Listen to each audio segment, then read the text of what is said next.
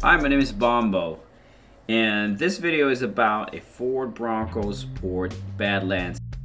For those of you who just ordered the Bronco Sport, Badlands, or Outer Banks, or whatever trim level it may be, could be Big Bend, I know you're excited about it. I was so excited of getting my Bronco Sport, and when I was driving it, I was kind of overwhelmed a little bit on the gauge clusters and what those little icon mean. But before we begin the video, I will get you excited with this little short clip about the Bronco Sport.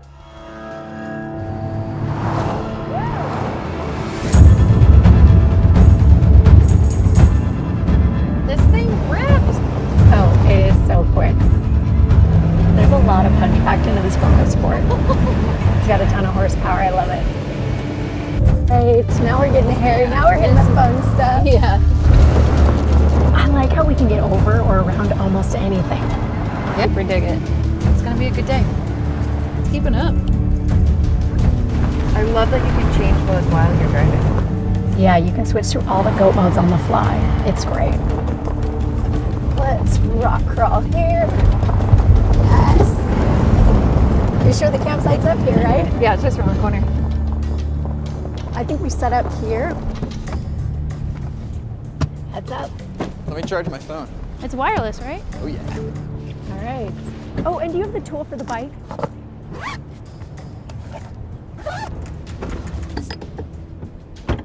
There you go. Big day tomorrow. Can't wait. There we go. Let's see here. Oh, this is a little tight. I love how this trail control manages our acceleration and braking. We'll just keep an eye on where we're going. Good, you're good. How's he looking back there? Good. What's up, bro? Look at this view. So fun, I right? To climb up here.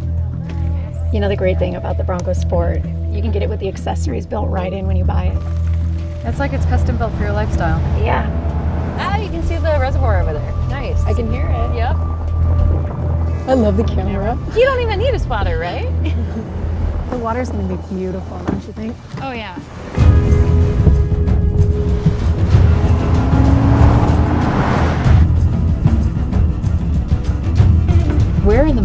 Nowhere. See, it's only roads like this that get you views like this. That's a great point. I think we found about the best spot. Yeah. Oh yeah, there you go. What a weekend. Epic. I don't think we could have picked a better time to be out here. Or a better rig for that matter. right? That video was very cool. Also, it kind of shows you a little bit on what features that's pretty much out there. You can see it uh, during the commercials and the stuff that a lot of YouTubers actually cover. What I will cover though are features that you might not know about and also some of the accessories that I actually bought for my Bronco Sport. When you look at this video of my Bronco Sport, you can actually see the accessories as well that I was able to add on it using my Ford Rewards Pass. There's actually two of them only. First one is the bug deflector. The second accessory that I added was the roof rack crossbars so you can mount different things on them such as a bike rack or a cargo basket. All those I was able to get using my Ford Rewards Pass. Another thing I added was the screen protector. It was it was something very very inexpensive in Amazon so it doesn't scratch the screen. All right, so let's start with these features. The first one is the global windows. On your key fob, what you need to do is press the lock button once and then press the unlock button first time and the second time you hold it and the windows will roll down.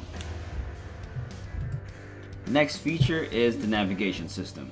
So when it's on using the actual native navigation system, regardless of what screen you see here, if you have your radio playing, it will interrupt it and show you the directions on top of what you already have on your console.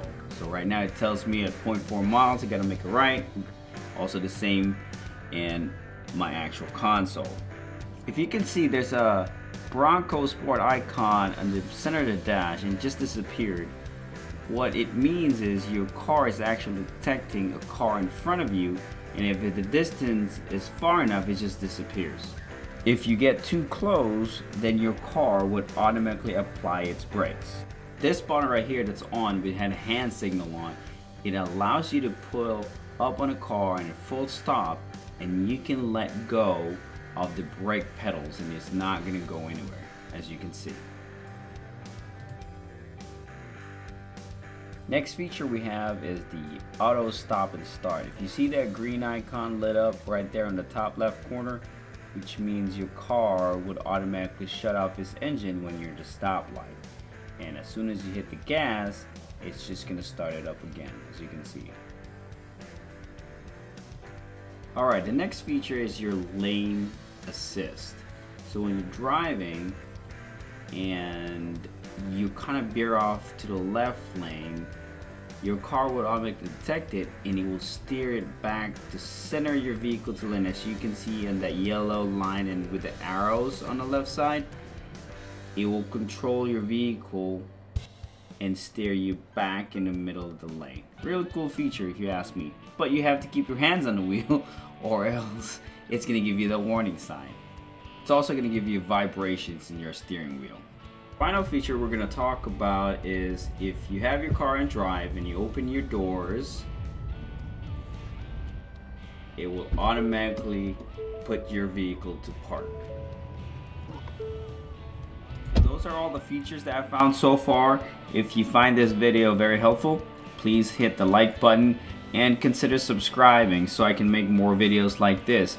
My channel is all about making contents that could help you guys out in everyday problems.